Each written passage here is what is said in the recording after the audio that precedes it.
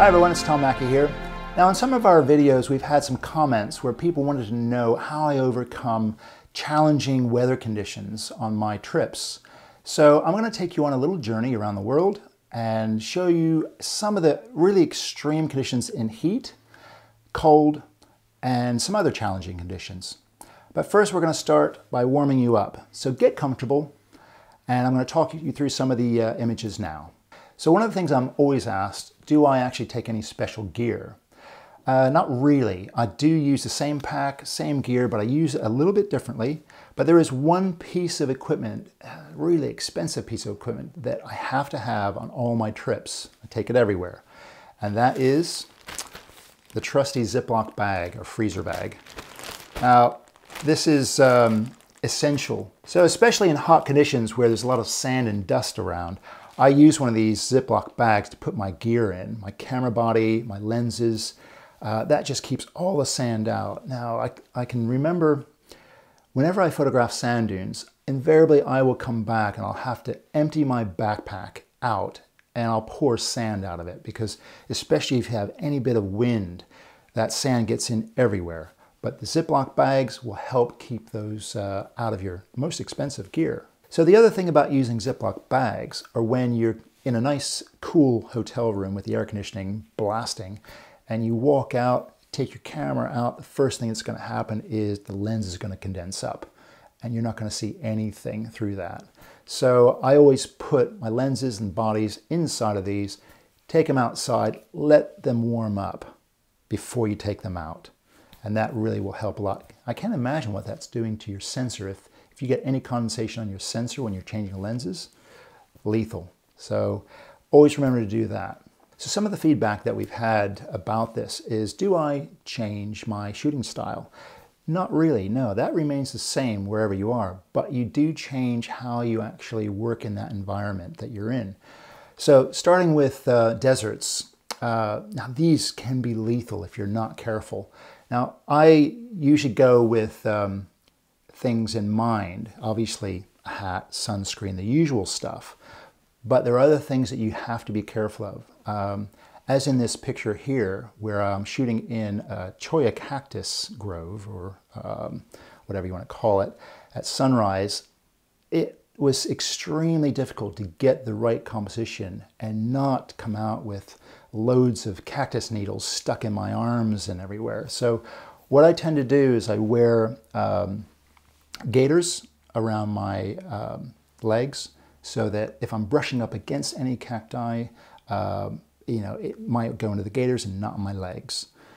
So the other thing is being more aware of your environment. So when I'm walking through the desert, I take care of where I'm actually going to place my foot. I'm looking out for snakes, spiders, uh, cactus that might actually brush up against my leg. Um, so you have to be more vigilant in that sort of environment. So having made that sound quite torturous, in complete contrast, photographing sand dunes are a blast. I mean, the kid comes out of me when I'm doing sand dunes. When, you know, you climb to the top of a dune, I just have the urge to just run down or slide down, you glide down these things. Um, and you get overcome by all the sand and everything. It is a lot of fun. But now in this image here, I was photographing in Mesquite Dunes in Death Valley. And I was there with a friend, Rod Edwards, and we were um, doing all sorts of great images, but I felt that I needed to include a human element. So I asked him just to walk up the ridge of this sand dune. And I thought this just makes such a much better shot. Okay, so sticking with deserts, I'm going to take you on a little nostalgic journey back to my days of Velvia. Now, if anyone doesn't know what Velvia is, just Google it. It was a brilliant film emulsion that was highly saturated in colors. And so I'm on a private reserve in Namibia on this shot where uh, the first light hit this brilliant orange sand and just the impact was just amazing. Uh, and the colors, I, it's funny, I can't seem to replicate this in digital. I come close, but uh, there's just nothing like Velvia. So now that we've covered deserts, we're going to go to the deep freeze. Now this requires a completely different mindset. First and foremost, you've got to be comfortable. So clothing is essential. Layers, layer up. That's the way to do it. Uh, thermals definitely as a base layer. Uh, you want to have really warm boots, waterproof boots. Now, I recommend uh, Sorels. Now, these are a Canadian brand. Uh, they're completely waterproof boots that are extremely warm. And also, obviously, your, your hat, you lose a lot of heat through your head. So have a nice thermal hat. Okay, gloves. So your hands, really important to keep those hands warm. So I start by a thinner, thin inner glove uh, so that I can actually still work my con camera controls, and then a thicker outer thermal glove. And then I put hand warmers inside. So it's essential to keep your hands nice and warm. If you're not comfortable and cozy out in those cold, harsh conditions, you're not going to be able to stand there and think about the scene. So that's a primary thing to think about. So let's start by talking about extreme cold conditions. First stop, Iceland. Now this has to be probably one of the harshest environments I've ever photographed in. I always tell people that uh, when I was taking workshops there, I said, it is an extremely harsh environment, not only on your body, but on your camera gear. And that's because the, um, the windy conditions there, you've got volcanic ash blowing around, you have rogue waves on the, on the coastlines that can easily take you out, and it has done in the past. So in this first image, we're going to talk about photographing icebergs on the beach. Now this is Jökulsárlón Beach, quite famous now. Everybody turns up there for dawn light coming through the ice.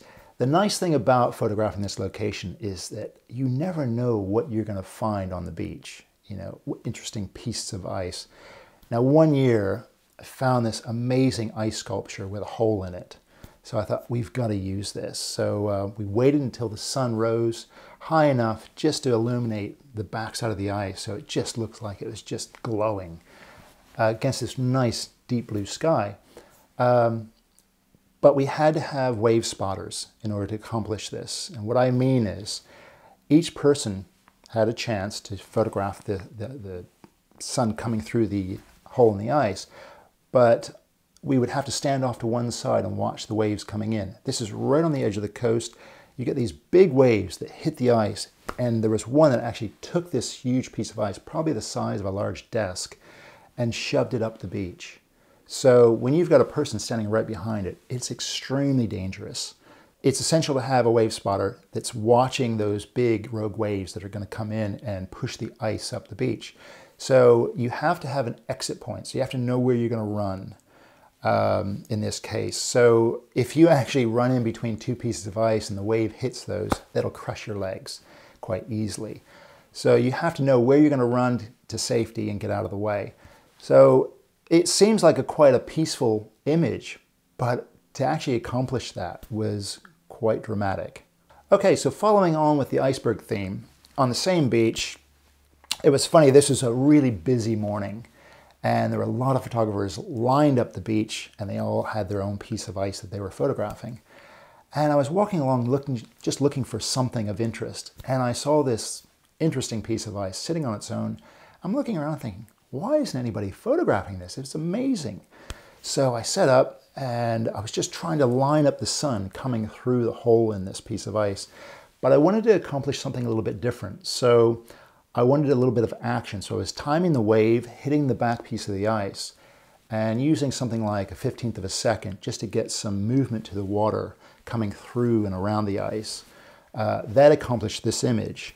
Now, it was funny because when I was using, um, I'm really concentrating on this uh, ice and I'm not aware of anything that's going on around me. As soon as I finished, uh, I just picked up the tripod and turned around, and I had this group of photographers watching me the whole time. Uh, it was quite entertaining, I'm sure, because I kept having to run back as the waves came in and go set back up again. So I kept doing this back and forth until I got the image that I wanted. So the extreme cold in Canada is completely different to Iceland in that it's a, it's a high alpine dry cold. Um, but it still smacks you around the face when you walk out of that nice warm hotel room and everything just goes like this. Oh, it takes your breath away. But you do get used to that. And I would say that I've probably accomplished some of my most amazing winter shots in Canada. It's one of my favorite places to photograph.